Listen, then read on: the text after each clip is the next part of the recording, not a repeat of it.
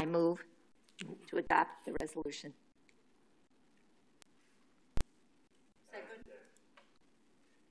Motion's been made and seconded. Is there any discussion on this?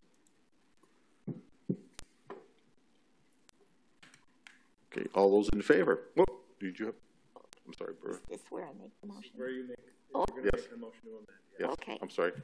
Go ahead. I, I have, I move to amend this, I move to amend the resolution. We're having technical difficulties here. Okay, can I do it? Okay. All right, um, I am going to propose that we put in the table of organization a full-time communications specialist for the city of Sheboygan. And, um, a little bit of a rationale. Uh, the media coverage for the city in the last decade has changed. We don't have local reporting now. We've got regional reporting. And it makes government transparency and communications more difficult. Uh, the city has no communications plan. And I'd just like to share this. This is a spreadsheet with an estimated 40 website addresses and 57 social media sites to contact our city. Um, it has 22 administrators. Uh, and for lack of coordination, the city, I don't think, is getting a maximum impact from collaborating with WSCS, with Mead Library, with Visit Sheboygan, and several other community organizations. Um, the ground has been laid for this particular um, particular job. In 2019, an eight-member communications task force of four city employees and four local businesses, business communications professionals, uh, met for eight months to study the city's communications efforts. The year-end report cited the absence of the following a unified communications strategy, a full-time communications staff person or department, and an interdepartmental communications team. Um, a dedicated communications position isn't a new concept. The city of Racine has one, at least one, and West Bend has one, full-time communications specialist. So my proposal is to establish a full-time communications position in the mayor's office starting in, in 2022. Uh, we will develop a job description and a budget, hire the employee estimated between 70 and $85,000 a year that has the appropriate educational credentials and a demonstrated track record in the profession. So that is my motion to establish a full-time communications position. Do I hear a second? So I'm just gonna make a point of Okay. order. So Right.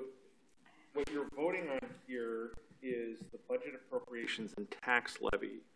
So what you, what you really need to have in making an amendment, i- i- it's not so much a change to the TO, you would do that later, but you would have to make a change to uh, the budget appropriation to add a, a particular amount, X amount, to uh, either to the levy or, or add a new line item, and then you have to account for that by taking it out of somewhere else. So that needs to be a part of your motion. All right, um, for this particular year, and I don't expect that it will continue this way, but I would move that it come from the general fund balance, the unallocated portion of the general fund balance.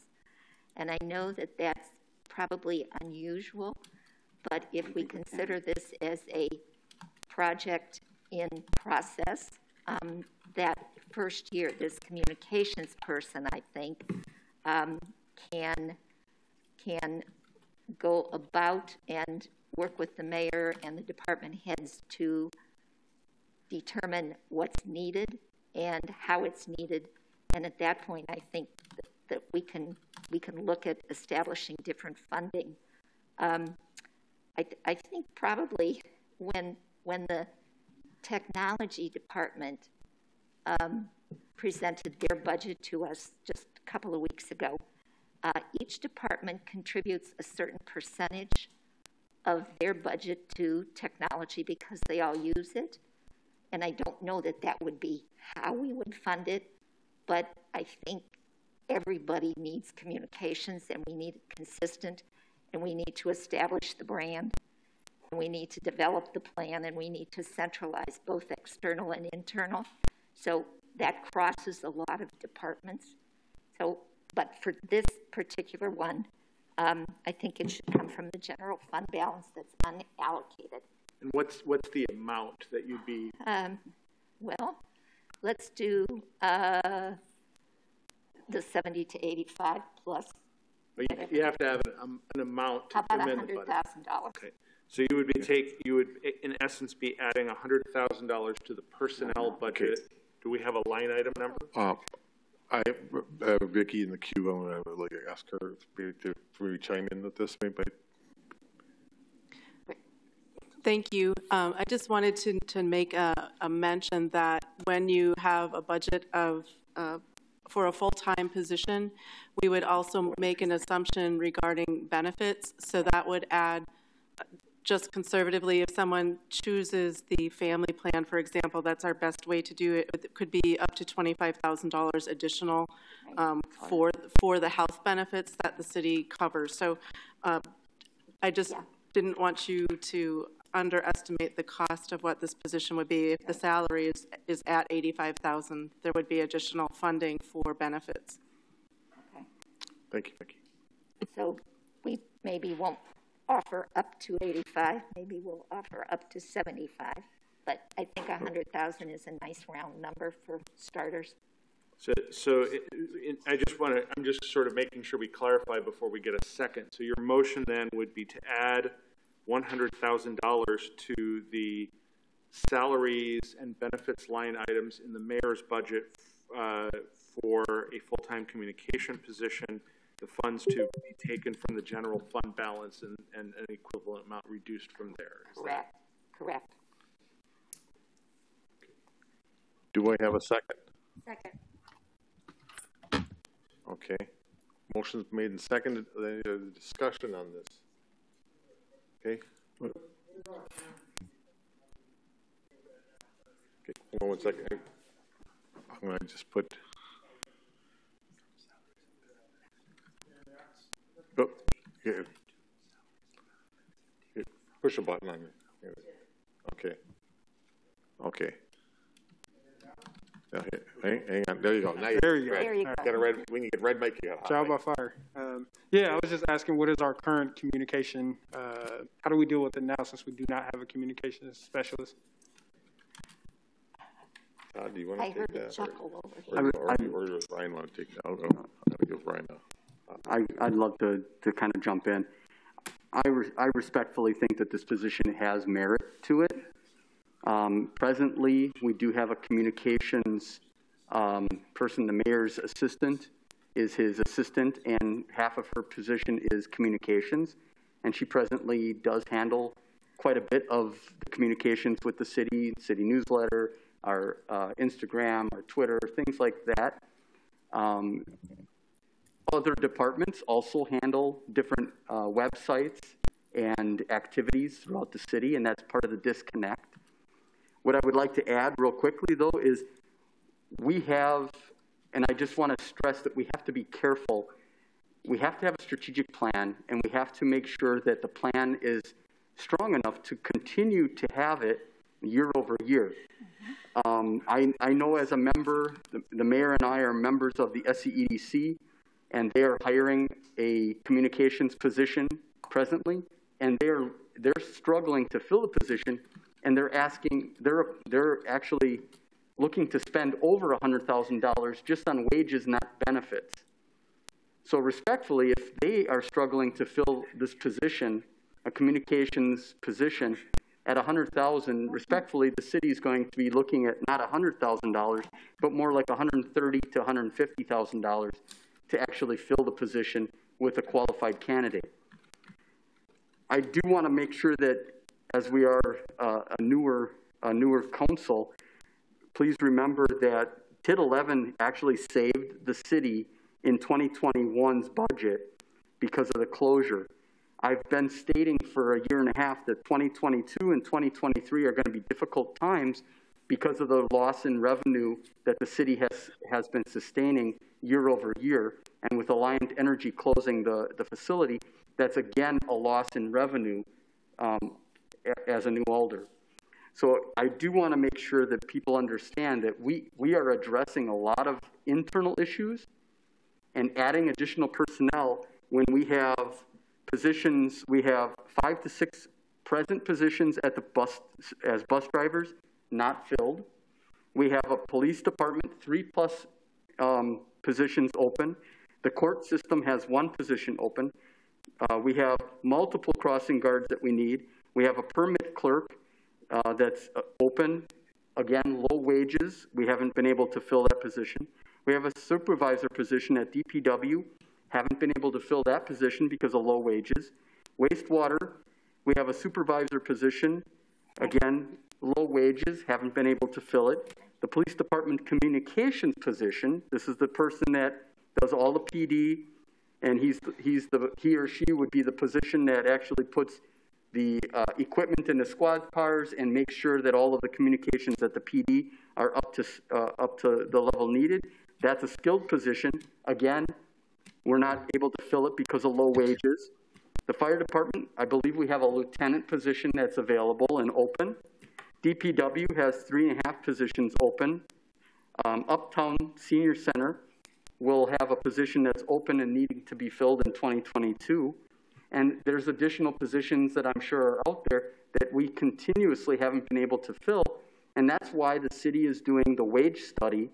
And I really, really ask the council, please consider that we look at this position in 2022 versus trying to force it in right now, because we have positions, as we, as the council has approved, the studies in process with Carlson Dettmann, and there, we, we know that we have a significant amount of positions within the city that are below the rate that they should be. So we could lose additional people. We also have a position at the, at the Mead Public Library that they would like us to fill, which is the um, teen, uh, teen librarian, if I'm saying it correctly. Again, that's, that position is a significant cost, and we have, we, that's not even on the, on the docket today. So my concern is if we, if we approve this position and we have so many other open positions, what are we showing our present employees? Where's the importance?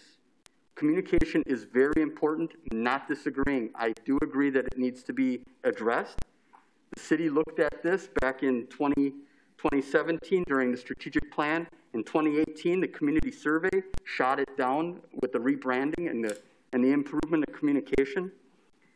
DPW did a little bit of a rebranding during the garbage cart program, um, and the, the city, ad- city administrator, uh, prior, before me, uh, was in, was involved in that. But again, it was shot down by the council. Um, we do have a person in communications, and I agree that it needs to be addressed, but we need to have a plan. And I, I personally don't feel that just making a line item addition really is going to set this position and person up for success because it's not just the wage of 100 of 70 to, to 85,000 dollars, which I respectfully think is too low. Saying 100k, we still also have to give that person additional dollars to be able to be successful in implementing whatever needs to be done in cleaning up our actual um, communications po- policy. If you have any additional questions, please let me know. Mayor, you have a comment? Thank, thank you, uh, Chairman Decker. Um, So I guess I, I- I'll just come out of the gate. I oppose this amendment, and I would encourage alders to vote against this. I think that this is a reckless way to handle the budget right now, as it is. Um, I think there are a lot more things that are already in the docket. We have the strategic plan coming along the line, which will set a clear vision and help us with a plan of how we can have a solid communication strategy as we move forward. As Administrator Wolf mentioned, we are currently reviewing all the job descriptions in the city um, through this JDQ process. So we understand and we hear, we hear the elders' concerns. Now, I'm still the new mayor, um, and we do have, we do have a communications person to answer Alder, Alder Wilton's uh, comment as well, too. I think a better process moving forward will be to probably pump the brakes on this amendment. Um, and there are other options. Myself, um, my, my assistant, and the communications person, Sarah, would be happy to present uh, at a finance and personnel committee meeting or another platform, if you will, to talk about what we currently do for communications, what options are out there for moving forward. I know that myself, Administrator Wolf, Director Schneider have all asked that before that something like this would happen, that we would have a conversation prior. I don't believe that we had full conversations or complete conversations, in my opinion, um, about how we move forward on this. So um, I don't know if other alders have any questions. I know that we have so many room, so much more room for opportunity and growth when it comes to communications, but throwing some numbers on it where it doesn't sound like we had a solid plan um, right out of the gate, I don't think is, is, is solid as well. And Administrator Wolf hit on it too. We're just talking about salaries and benefits. Now, what's the conversation on the tools? When you talk about communications, now we need video editing um, platforms. Now we need new computers. Now we need um, different, there's other things that need to be paid for as well for have this person to be successful. Myself to be successful, other city staff to be successful as well. So we're, we're not even, you know, we talk about, oh, we don't have a communications plan. We don't even have a plan how to do this right now. Um, so I would respectfully disagree with, uh, with this amendment and would encourage a no vote from alders. Thank you. Alder Perella. I have my reservations as well about this plan, and although I like the idea very much, um, I'm thinking that perhaps, as also the mayor mentioned, we may um, need to look into better ways to utilize the current role of communication. So maybe there is a way to strategize better the use of the current specialist while addressing the issue um, on long terms. Thank you. Oop, Roberta. Sure. Go ahead. Um, Mike, Mike, and I appreciate, I, I heard all the observations. I appreciate the fact that, yes, there is a way to do it. And I also think we need to appreciate the fact that this has been in discussion since 2017, 18, 19. We have a report, 20, we're in 21. We wait another year, that's 22, and we put it in the 23 year budget. So, seven years from the time we recognized there was an issue until we act on it. And, and that's a concern. Um, and secondly, if you recall that my first, my first try at let's amend this was to put it in the table of organization. And, and Alder, um, not Alder Wolf, former Alder Wolf, but currently Administrator Wolf, um, read a whole laundry list of jobs we don't have filled. I would love to have communications director on that list that says not filled. I just, I just, I want it, I want it there. So I want it there. I think the city needs it. Um, am I willing to wait if the alders say, sure, we should wait? I just want you to know we're seven years out if we wait because it will be 2023, hopefully, before we get something, and it may even be 2024. Right, Alder Laster. I'm just curious, given that this has been a conversation for so long, I'm not, I'm not seeing it in the strategic plan. Is that something we can talk about or add, or why haven't we? I have the same interest. So I'm just going to be blunt and say it as it is. The current strategic plan is not a, a strategic plan. Um, and no offense to city staff that have put hours and work in it, and they'll, they'll say it as well too. In my opinion, and I believe Administrator Wolf shares a, shares a similar opinion, that the strategic plan was almost a format of setting goals and kind of checking boxes. I think we've did a, a great job at, at meeting those benchmarks. And this is a big priority in terms of why we're hiring Baker Tilly so that we can have a professionally done strategic plan so that we have professionals that, that do this work in the municipal world so that we can have a more in-depth um, conversation about where we want to move the city forward. So the first strategic plan, I guess I wouldn't call it a strategic plan. I think that just kind of is a comfortable term for individuals. I think it kind of sets goals and priorities and benchmarks for us, which is part of a strategic plan. But we we need to set a vision in terms of where we want to go, um, and not necessarily just check a box and say we planted X number of trees. We had this number of people like a Facebook post, if you will. So we want something more comprehensive, more professional. Um, so that's why we're, we're taking it to the next step uh, with this Baker Tilly contract. Um, this strategic plan, as if we call it, was done in-house. Um, and uh, it was it was primarily done by Director Pelishek, I believe. Um, and not knocking his work at all. I think he did awesome with the tools that he had, uh, but we want to step it up a notch. And just to reference older um, Filicky-Peneski's comment too, um, I think we have new leadership now. I think we have uh, really good uh, folks in the right place um, from the top with Administrator Wolf, hopefully with myself, uh, with some of the depart department heads as well. So you have a lot new, newer faces on the council and leadership and at the director level. And we hear, we hear the elders. I mean, I, I think every single person has inquired at some point about what, what we're doing forward. I just don't believe that this is a, a good platform uh, to do that. So I, I, hope that answers all your questions, Alder Last. No, I appreciate you saying yeah. that's not uh, and no offense and that, again that's just my opinion. I don't know if, if others well, want to. Well, and I just want to jump in. The city hadn't done a strategic plan. So what we did back in 2017, and I was involved as an alder, was a great springboard. But we had no budget, we had no plan other than develop a strategic plan.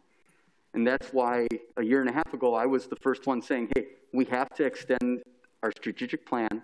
We were doing, a, if everybody recalls, the last year and a half, the city has been under a lot of opportunities, as I call them. We've been bringing forward a lot of, of areas that needed to be addressed. We've been doing a lot of internal repairs and workings on our policies and procedures.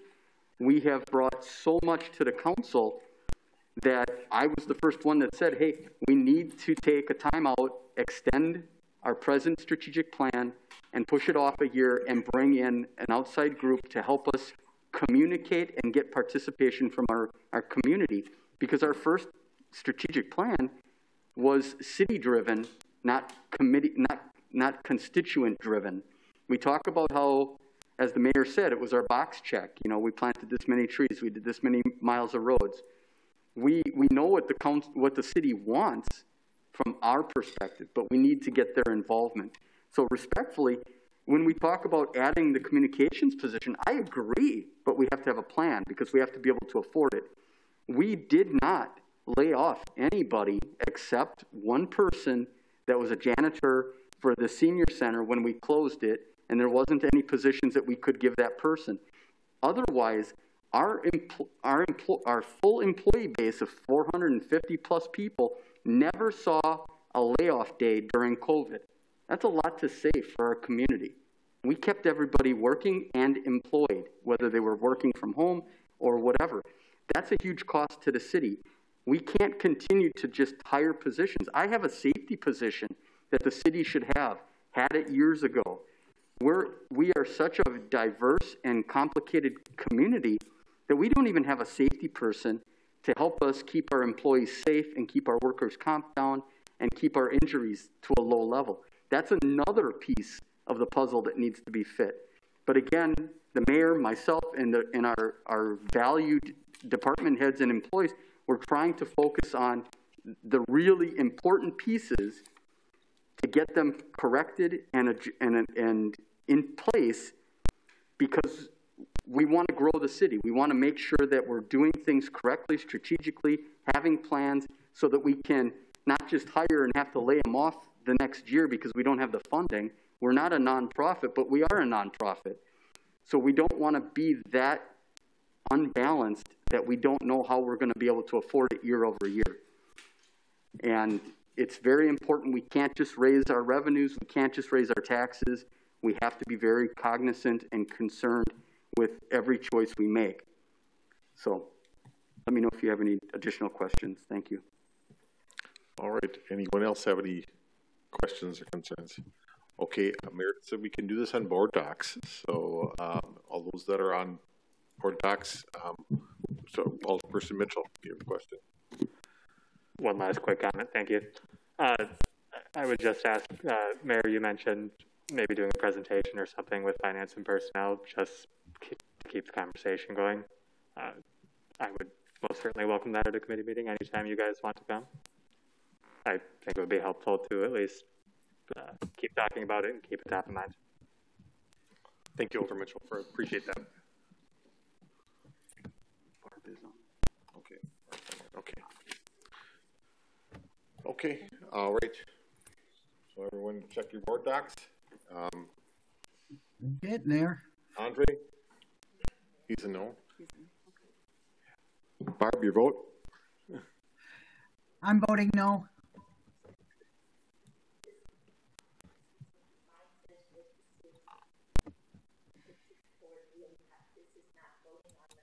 This is the voting on the amendment. It's voting on the amendment.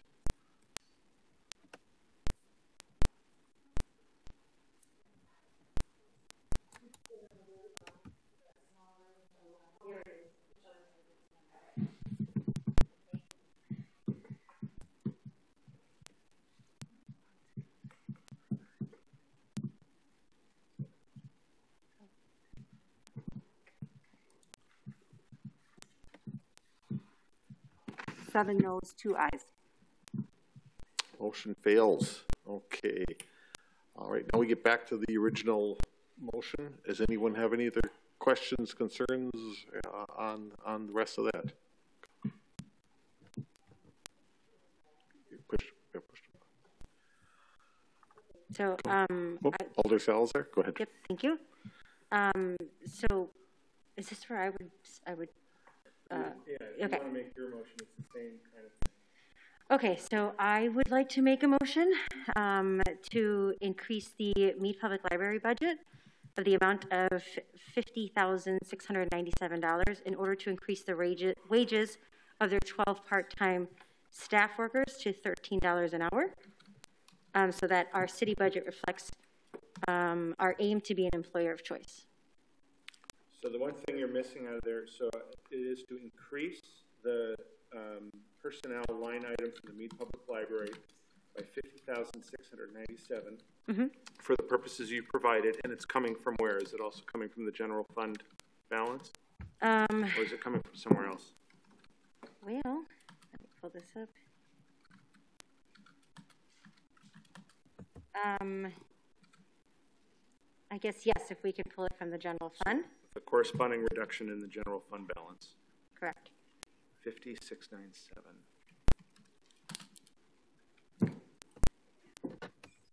We have a motion, do we have a second? I'll make the second so we can have some discussion on it. Motion made and seconded. Okay. Uh, let's, do we have some discussion? I see Andre's got a light on there. Oh, seconding, but she beat me to Oh, okay, never, okay. May I? Okay, go ahead. Thank you, Dean.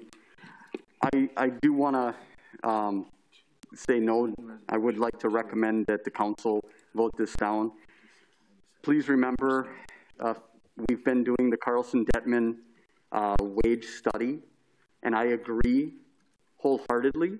I was the one with the, the department heads that said we need to bring in Carlson Dettmann to do the wage study. We need to look at the cost and the benefit of every employee, and we are in that process, and we are moving as quickly and diligently as possible, because we have, as I've said many times, we have many of our team players, team members, that are underpaid, and we have to adjust that, and we have to be very cautious and have a strategic plan again. And I say strategic plan, and, it, and I mean it wholeheartedly. We can't just raise wages and not real, realize where is the money coming from. And we, we also have to be very careful, very, very careful. And Director Kruger, uh, Krieger can actually jump in on this. We can't just use general fund for operational costs. That is a really, really bad situation. And I don't even know if we can do that technically, but she has better experience with that than I do. But we have said with the Carlson Dettmann plan that once we have all of the information, we're going to be able to put together a plan to look at the city as a whole Now, I say the city as a whole. I'm not, I'm not including any of our union, unionized departments. It's only the non-unionized. We have to make sure if we're going to focus on, and I'm not saying, I'm, and I don't mean this in any disrespect. Please remember, I don't mean it that way. I'm asking to hold off. Uh, Caitlin and myself, we've, we've allocated some money to put towards wage review, but we can't just say broad stroke of the brush, we're only going to take care of the library, or we're only going to take care of DPW. We have so many positions and so many valued employees that we really have to put a plan together and see what we can do. If we're going to raise the pages, which I believe is what we're talking about, we're looking at a 30 to 40% increase for those couple of positions. What are we telling those, those, those other positions that are out there that they're going to get a 30 to 40% increase also? We want to be competitive. I agree with Alder Salazar. We want to be the employer of choice, but we have to be able to afford it. We can't just raise wages and then that would mean that we would have to take it out of the projects and or we'd have to cut cut services. We'd have to uh, possibly lay people off. So we have to have a plan as i've always said and we have to take steps and not just start running. We have so many valued people and it would not be fair for us to push this through when the when the actual actual library had a fund uh, an actual deficit of $41,580 already, adding another 50 plus thousand dollars on top of already deficit and take it out of general fund, it, it, what are we going to do next year in 2023? As I've said, and I believe Caitlin has also said it, 22 and 23 are going to be some difficult years until we have some additional TID closures. So please, please, please be careful this is something that is going to affect everyone. Thank you. Alder Salazar. Yep, thank you for that. Um, and I agree with you, Administrator Wolf. Um, we have 12 part-time workers who are currently receiving anywhere from 9 to $11 an hour. They are in that special rack of that uh, category of the double A, so they're not even hitting the base of A, what we're giving across the city, right? And so what I'm asking is let's move them out of that double A and move them into A, so they're at least matching. And I guess they seem to be the only ones in that role. They do, we're looking at part-time staff, so they won't receive health care benefits due to their status, right? Mm -hmm. um, and so I think we should fairly compensate them as essential workers in the city. Um, I, am concerned if we, if we don't move them up, sort of will we have staff to recruit them, you know, even six months from now, even a year to now, considering there are multiple places they could start to work at, Kwik Trip, Target, McDonald's, they're offering $15. Alder Salazar, thank you for that. I, I do just want to add a, a couple of comments. I am not disagreeing, and I have never disagreed with the fact that the double A line item should never have been actually made. When I first came in, we stopped hiring people at the lowest um, entry level because we were actually we would have to actually offer people less than what they were making to come and work for the city. Not disagreeing with your statement, the whole, the whole wage scale program is going to be rebuilt because technically we have two programs. We have one um, for DPW and we have one for the rest of the group. We have to have one wage scale and it has to be appropriate to the, the cost and the value for us to be competitive. We have so many positions, and I'm not disagreeing. The, the library is a, is a perfect example, but DPW as an also has double A's, and we can't fill those positions either. Our, our, our employees over the summer were very difficult to hire because, again, as you said, people can go and work at anywhere, anywhere for $15 an hour and $20 an hour. But what are we telling DPW employees and seasonal staff if the library employees are more valued than the ones that are outside working in the sun and the heat and all of that? They're all valued. And what really needs to be addressed is the program on how we value our, our positions and how we can afford it. So I'm not disagreeing. I'm just disagreeing that now is not the time to force a line item in because it will affect area, other areas within the community and other projects. Thank you. What did I do?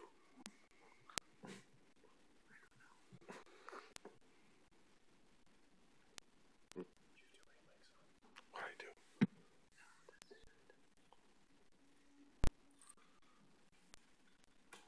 Do I hit like that? Looks like it's frozen. Okay. Scott? Scott? We. It needs to- I just want the hit thing and this came up. Oh, here we go. Okay. Okay, Alder Perella. Thank next. you. Thank you, Mr. Chair. Um, I just need to get to clarify some things. I have imp- had the impression that these part-time employees at the Mead Library are actually, besides DPW, are those that are paid the least within the um, CD employees. Is that correct? I mean, I hear nine dollars. I, I hear eleven dollars. I hope that it it is true that there are no other employees that are paid this little. Okay, there we go. Go ahead, Vicki, you're, you're on now. Thank you. Um, uh, Of the, of the employees for the city, the pages are in that double A category, and so um, they do have the lowest wages that going, as uh, Alder Salazar has said, they range anywhere from $9.37 uh, and to $10.86 for part-time work at the library. So if I, if I may just explain our current pay scale grid right now, it goes from double A pay grade all the way to Z. Um, and I am happy to share that document with all of you so that you can see that. Um, the, the goal of the, and, and as uh, Administrator Wolf said, that Public Works also has a separate pay scale that is a holdover from after Act 10. Um, so it's, it's older.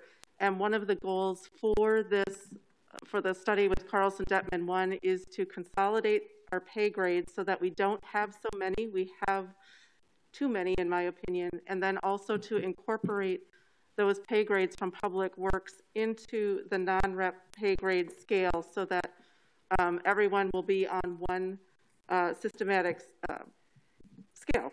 And then with that, that we will be adjusting and making those adjustments to all the all the positions, which would also include the pages at the library, because when we initiated the Carlson Dettmann study earlier this year, we submitted 140 job positions for the city. And part of the problem that we had as, uh, as an organization over the course of time is that we have been inconsistent or um, just not keeping up, not keeping pace with uh, with the with the marketplace. And so it was very clear that we had some positions that were incorrectly categorized. That is no doubt. Um, we have positions that were uh, similar positions that were put in in disparate grades. Um, so it was rather it's sometimes random. And when we discovered and talked about the different uh, disparities within the wage scale, that this was not just a singular problem in one department, it was across the organization. And that's where um, going to Carlson Dettmann was critical for us to be able to offer just wages for all positions um, and to be able to put those categories into a place where we know that they are that our employees are being paid equitably because we know that we are not keeping pace with our competition in, in many ways. So we are hopeful that the, the Carlson Dettmann study will, will be able to guide us and so that we can be consistent and fair across the board uh, with all the different uh, positions that we have. Again, that does include the pages. We are meeting with Carlson Dettmann, and by we, I mean Administrator Wolf, uh, Director uh, Caitlin Krieger, myself, um, and with Carlson Dettmann's leadership team to do the follow-up for what they have discovered through the, the conversations that they had with every director here uh, regarding all the positions. And we, we have an expectation that within the next couple weeks, we will have more direction to go in with what the wages should and could look like. So I, I don't disagree that the wages are not in alignment with what what necessarily needs to be. I just don't know what the what the resolution should be for. Um, I don't want to be premature in saying that this this uh, classification needs to have a wage adjustment when we haven't been able to do all the different classifications. So I would like to make sure that we're being fair to all employees. And as a follow-up, I, I wanted to, um, so it seems unlikely to me that, and I agree that there is a study, we should wait for the results and, and, and address um, the city employees as a whole. But at the same time, it seems unlikely to me that the study will not show that 9 to $10.35 is not enough for the pages. So what I'm trying to say is that there is no, obviously this is not a fair retribution to these individuals. I, I do feel uh, full-heartedly that this is, I mean, it's, it's something that I, I support to um, try to make this more fair for these employees while waiting for the study to be completed and address the situation of the city as a whole. Uh, Alderman Laster. Okay, I have two questions. One, can we wait to approve the budget until the study is done?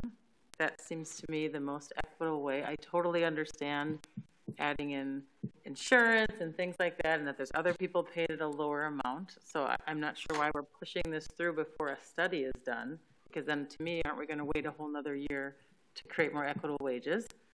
My other question, Caitlin, is for you everyone's talking about pulling from this general fund. And so because I am new, I'm just asking for clarification, the dangers in that, and if there's any reason that, that there's a benefit to it. Someone has to take, there we go. Okay, there you go. Caitlin, you're on. Thank you. Uh, general fund fund balance is really used for reserves and rainy day fund. Uh, we use it for contingency every year, which is projects that come up that we have not planned for. For instance, my Munis chart of account redesign was 40,000 of fund balance use. The concern with using fund balance for a recurring expense is that the fund balance can get depleted and then you have nothing to pay these employees with. So the big concern from a financial standpoint is using any fund balance for a recurring expense, just like your bank account at home. If you have savings accounts, you're not going to use it to pay your cable bill every month because eventually you'll, you'll run out of money. So that's the big concern from there. I will just also make a comment as um, the finance director, I've had five different departments come to me asking for wage adjustments for employees that they were either about to lose or had inklings that they were going to lose or could not fill. And I've told five different people that we could not make any adjustments because of this compensation study. I think I'm along, I'm in line with everyone else knowing that this wage does need to be adjusted. But if we will have results in the next few weeks, we have a wage, reserve, wage adjustment reserve built into the budget so we could wait until we get the results in order to make a final decision on how to pay. Thank you. If I, can, if I may just add a few things here real quickly. N nobody in the city, whether it's Vicki, myself, Caitlin, the mayor, we are not in disagreeing that there's an issue with the wages. That's why we, we brought Carlson Dettmann forward. We didn't just make a broad stroke of the brush and say, oh, well, let's raise the wages in this department, that department, um, willy-nilly like the past.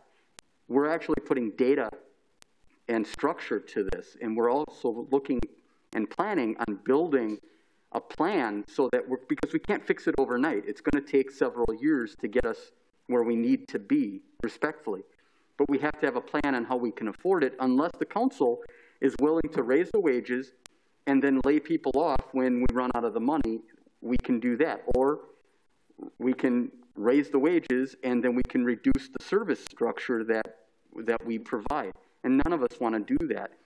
My concern is we have such a delicate situation, and that's, again, Carlson Dettmann explained to Vicki Schneider and myself that since we came on board with the program with them, 85 municipalities signed up afterwards.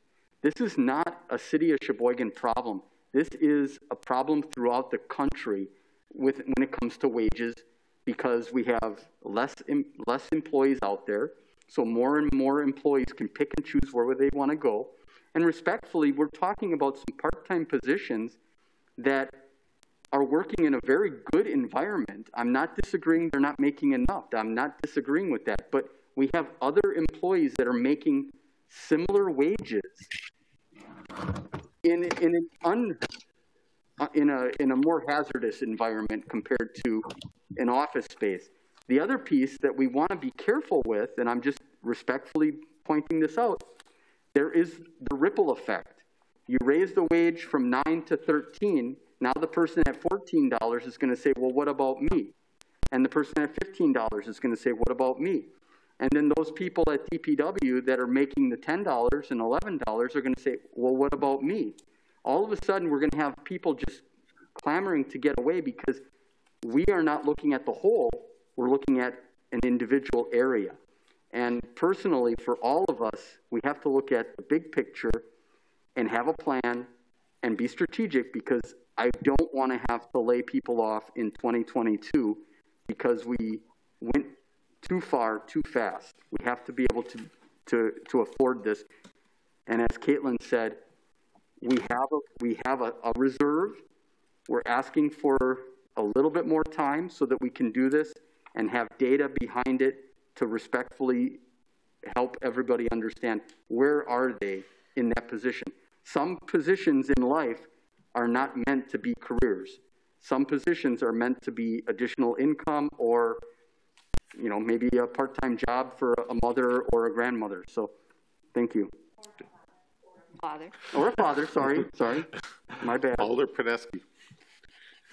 Um, actually, I, I'll pass. What? You're, you, okay. Uh, Mayor. Uh, thank, thank you, Dean. I'm just going to uh, kick it back to our, our awesome finance director, Caitlin. Um, just, just so alders can be informed about the budget process. So, so short answer, Alder Laster, to your question, no, we can't. We have to have the budget approved this year, and we're not anticipating um, the complete study to be done February, early next year? Hopefully the end of this year, but we have to have a plan after. And, and just maybe, maybe uh, Director, Director Krieger can kind of just talk more about the budget process. I know we have to approve it, and then we have to send numbers to the, the county and then to the state as well. So we, we have we have to get this done by certain timelines as well. And then Director Krieger, could you also just quick, quick quickly just kind of go a little more in depth about the impact that this has on our general fund in terms of our, our credit rating scores um, and other just financial um, uh, other impacts as well, um, just so, so the owners can be informed about that impact as well. Sure. So I'll start with the budget timeline. Uh, we have the budget meeting tonight. Next Monday is the public hearing.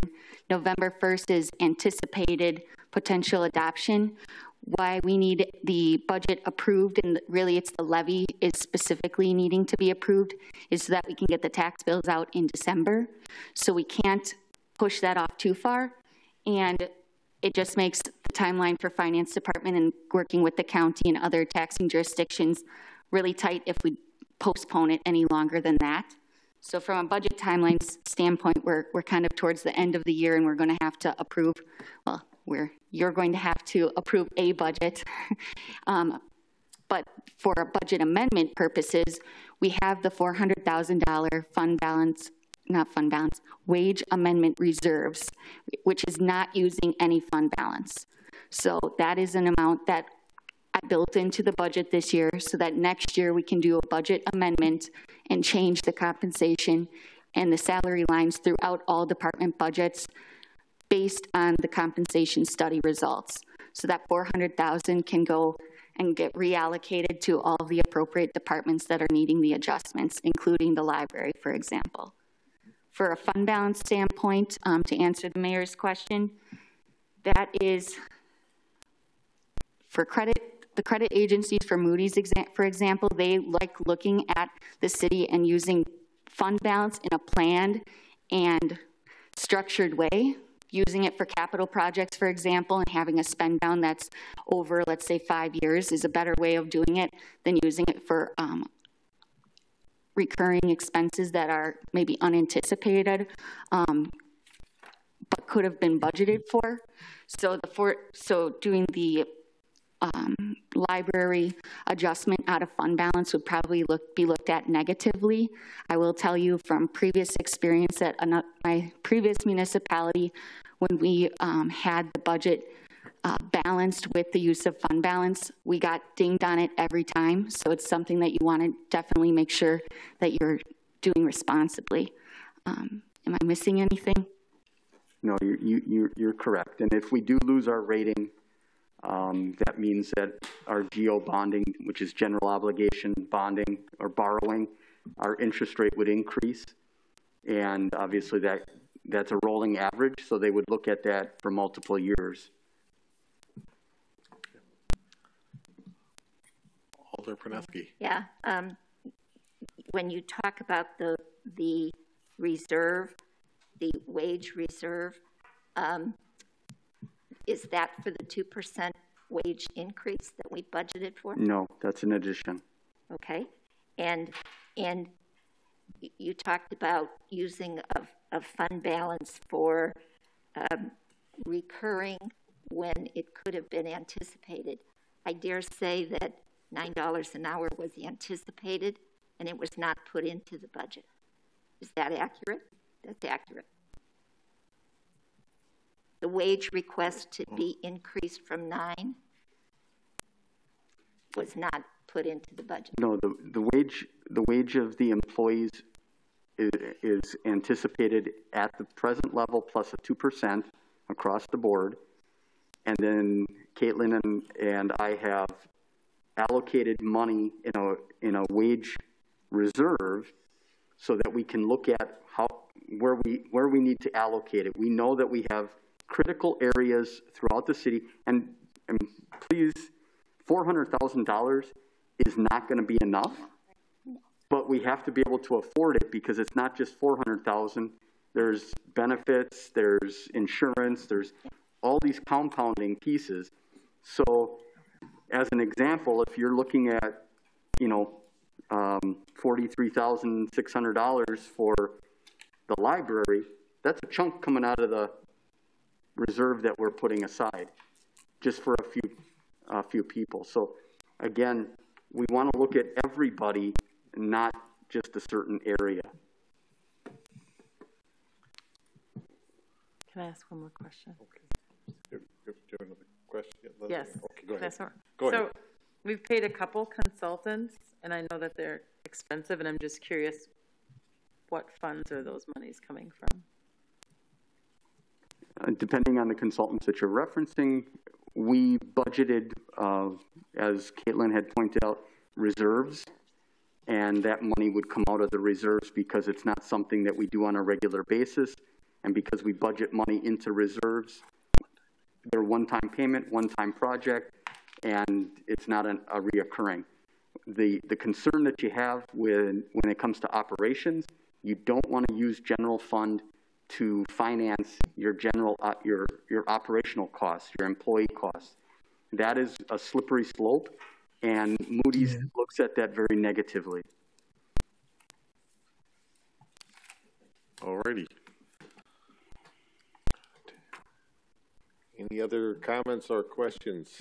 Then, um, let's see, we're back on to the amendment. Um, if you would want to reference your board docs.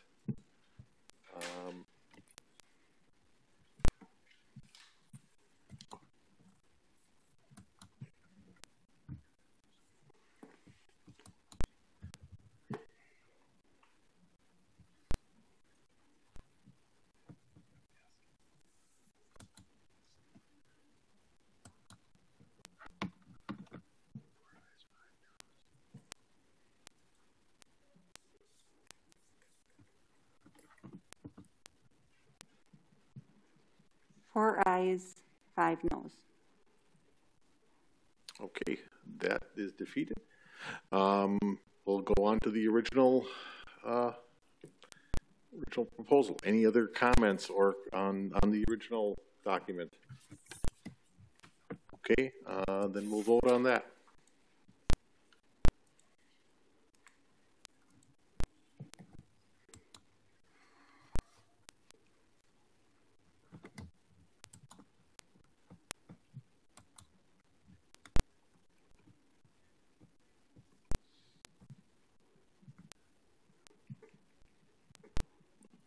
Alder Rolton?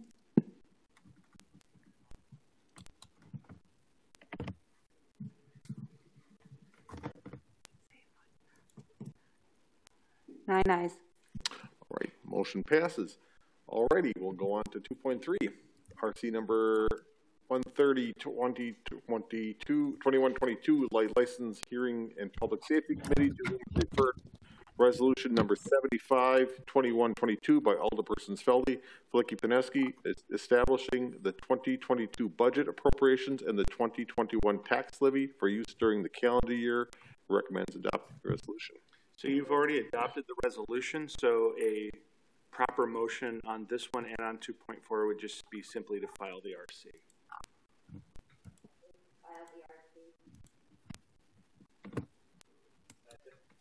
Motion's been made and seconded to file the RC. Any other comments on this? Okay, just, just voice vote, okay. All those in favor? Any opposed? Aye. Chair votes aye, that is passed. Okay, we're down to three.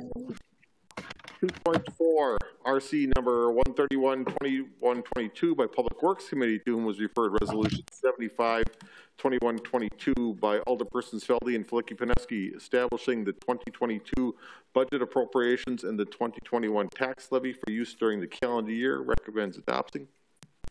Again, just file the RC. Okay. Motion's made and seconded to file. Uh, Any other comments? All those in favor? Aye. Any opposed? Chair votes aye. That is passed. Okay. We have exhausted the agenda. Is there a motion to adjourn? Motion made and seconded. All those in favor? Aye. Any opposed? We are adjourned. Thank you.